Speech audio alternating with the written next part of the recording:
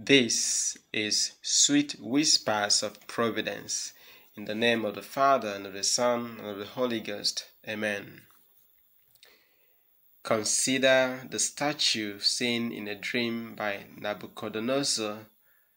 It was great and high and tall, with a terrible look.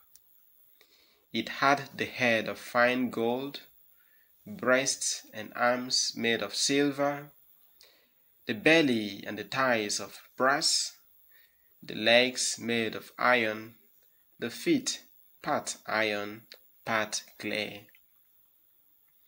Now, a stone cut out of a mountain without hands struck the statue upon the feet of clay and broke them to pieces, and the whole statue came crashing down like a chaff and carried away by the wind. Could it be that you have a statue of yourself in the depths of your uncontrolled imagination? A statue you worship and try to make everyone else worship?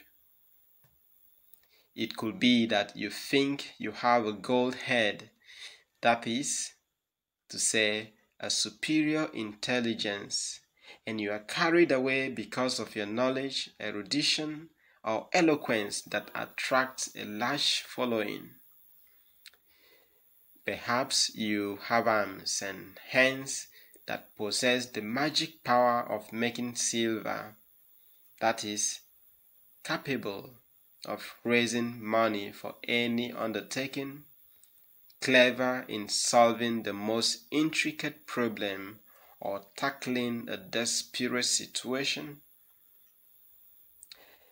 Perhaps you have a belly of brass so that nothing and nobody frightens you and you face up courageously to any obstacle, knock it down and break it to pieces. It could be that you have legs of iron and are tireless in running here and there as a classic workaholic, organizing all and spearheading each. So far, so good. Remember, you have a feet of clay. A feet of clay, when smashed by a little rock, brings that brings the whole statue crumbling down in confusion. These feet of clay represent your absolute natural weakness and nothingness without God's grace.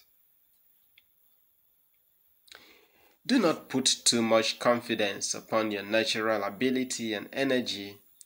To do so is to do injustice to God and to compel Him to abandon you and leave you in your confusion.